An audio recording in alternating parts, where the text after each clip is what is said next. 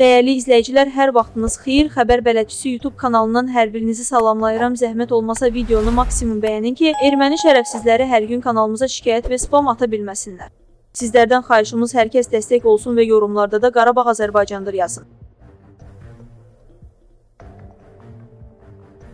Dövlət Təhlükəsizliyi Xidməti tərəfindən həbs edilən Şəmkirin sabiq icra başçısı Alim Paşa Məmmədova açılan cinayət işində Park Kolizey rəhbəri Famil Xəlilovun da adı halanır.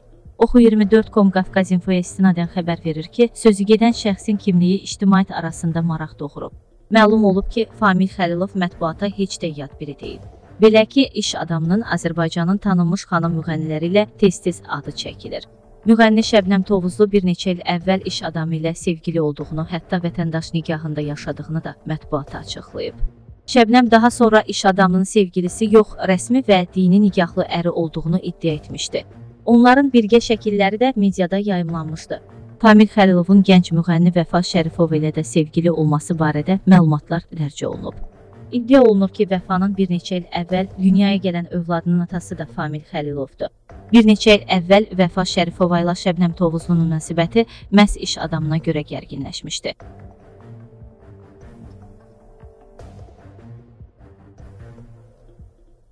Aprelin 29-da Prezident İlham Əliyev 1941-1945-ci illərdə 2-ci Dünya müharibəsində iştirak etmiş şəxslərə həlak olmuş və ya sonralar vəfat etmiş döyüşçülərin dul arvadlarına arxa cəbhədə fədakar əməyinə görə orden və medallarla təltif edilmiş şəxslərə birdəfəlik maddi yardım verilməsi haqqında sərəncam imzalayıb.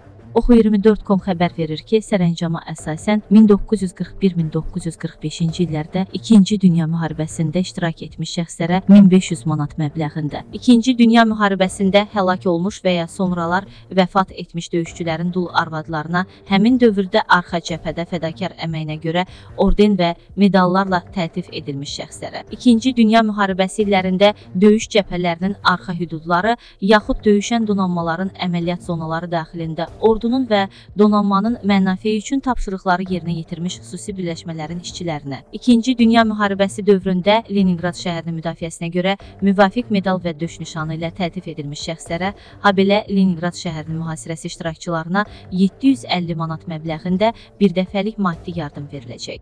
Bununla əlaqədar Azərbaycan Respublikası Prezidentinin 2021-ci il dövlət büdcəsində nəzərdə tutulmuş ehtiyat fondundan 4,8 milyon manat vəsait ayrılacaq. Maliyyə Nazirliyi həmin vəsaitin Əmək və Əhalinin Sosial Müdafiəsi Nazirliyinin xüsusi hesabına köçürülməsini, Əmək və Əhalinin Sosial Müdafiəsi Nazirliyi birdəfəlik maddi yardımın isə bu sərəncamda nəzərdə tutulmuş şəxslərə ödənilməsini təmin etməlidir.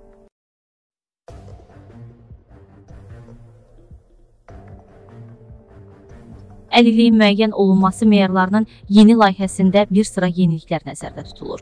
Pravda azı məlumatına görə bunu bugün Milli Məclisin Əmək və Sosial Siyasət Komitəsində əlilliyin ekspertizası və reabilitasiyası sahəsində qanunvericiliyin təkmilləşdirilməsi mövzusunda keçirilən dinləmədə Əmək və Əhalinin Sosial Müdafiəsi naziri Sahil Babayev deyib. Onun sözlərinə görə belə ki, əlillik artıq 3 dərəcə ilə və ya sağlamlıq imkanları məhdud kimi dar çərçivədə deyil, daha geniş spektrdə faiz diapazonunda dəyərləndiriləcək.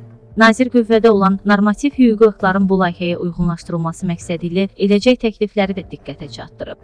Tahir Babayev yeni meyarlarla bağlı qanunvericiliyə dəyişiklik edilməsi layihəsindən bəhs edib.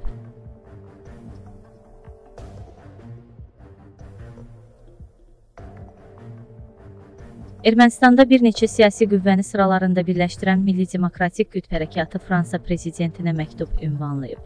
Xəbər bələdçisi Modern Aza istinadən xəbər verir ki, məktubda Emmanuel Macrondan Fransa ordusunu Ermənistanın cənub sərhədlərinə Zəngəzura yerləşdirməsi xahiş olunur.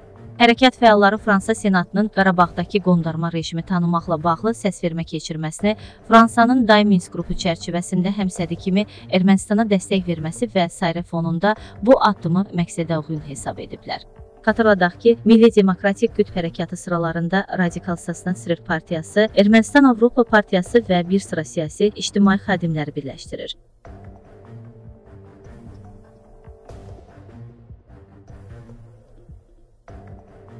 Rusiyanın Xarici İşlər naziri Sergey Lavrov mayın 10-11-də Azərbaycanda işgüzar səfərdə olacaq. Xəbər bələdçisi reporta istinadən xəbər verir ki, bunu həftəlik brifinqdə Rusiya Xarici İşlər Nazirliyinin rəsmi nümayəndəsi Mariya Zaxarova deyib. Sergey Lavrov səfər çərçivəsində Azərbaycan rəhbərliyi ilə danışıqlar aparacaq. Mariya Zaxarova onu da bildirib ki, Rusiyanın Xarici İşlər Nazirliyi başçısı mayın 5-6-sında Yerevanda səfərdə olacaq.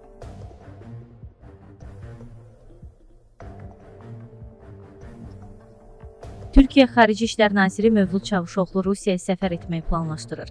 Axar az xəbər verir ki, bu barədə nazir özü açıqlama yayıb. O bildirib ki, səfərdə Türkiyə Səhiyyə naziri Fəxrəddin Qoca da iştirak edəcək. Ziyarətimizin may ayında Ramazan bayramından sonra gerçəkləşməsi mümkün görünür. Həmkarlarımızla müzakirə ediləcək məsələlərdən biri də rus turistlərin Türkiyəyə gəlişinə qoyulan məhdudiyyətlə bağlı olacaq.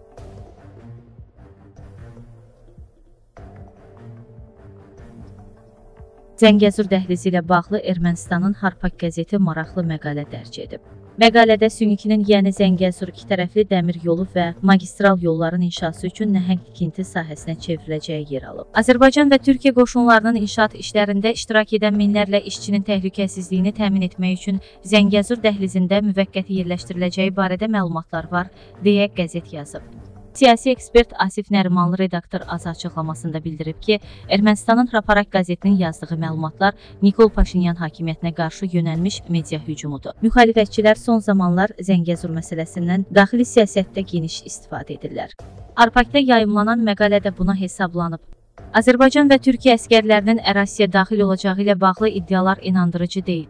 Hesab edirəm ki, Zəngəzur dəhlizinin təhlükəsizliyini Rusiya ordusu qoruyacaq. İndiki məqamda Zəngəzur məsələsinin gündəmdə olması Azərbaycanın marağındadır. Bununla ermənilərin diqqəti Qarabağdan yayınacaq. Ekspert bildirib ki, Zəngəzurdan Naxçıvan və Azərbaycanı birləşdirəcək iki dəhlizdən söhbət gedir. Bununla bağlı artıq razılaşmalar var. Zəngəzur bölgəsi iki dəhlizin arasında qalacaq. Bu, Azərbaycanlıların tarixi bölgəyə qayıtmasında ilk addımı ola bilər.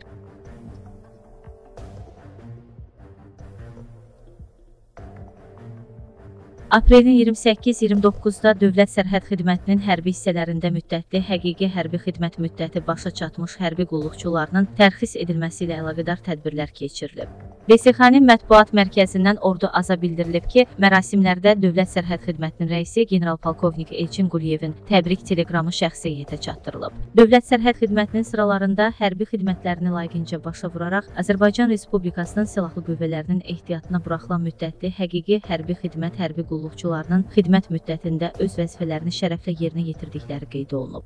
Hər bir sərhədçi əskərin Azərbaycan Respublikasının prezidenti, Silahlı Qüvvələrin Müzəffər Ali Baş Komandanı cənab İlham Əliyevin rəhbərliyi ilə Ermənistan üzərində möhtəşəm zəfərlə başa çatan və Azərbaycan tarixinə qızıl hərflərlə həkk olunan Vətən müharibəsinin qalib əskəri olmaqdan, müqəddəs torpaqlarımızın azad olunmasında işğalçı düşmən qüvvələrinə qarşı döyüşməkdən, bu gün də səngərdə və sərhəddə böyük əzmlə xidmət aparmaqdan böyük şərəf və qürur duyması vurğulanıb. Ölkəmizin ərazi suverenliyinin bərpası, doğma torpaqlarımızın yağı düşməndən təmizlənməsi uğrunda gedən döyüşlərdə canlarını vətən yolunda fəda edərək xalqımıza qələbə sevincini yaşadan şəhidlərimizin ruhunun əbədi olaraq yaddaşlarda qalacağı qeyd olunub.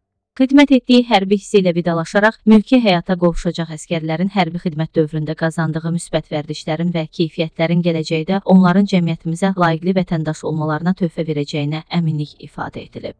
Tədbirlərin sonunda tərxis edilən hərbi qulluqçularla xatirə foto şəkilləri çəkilmiş və şəxsi heyət xüsusi ayrılmış avtobuslarla yaşadıkları bölgələrə yola salınıblar.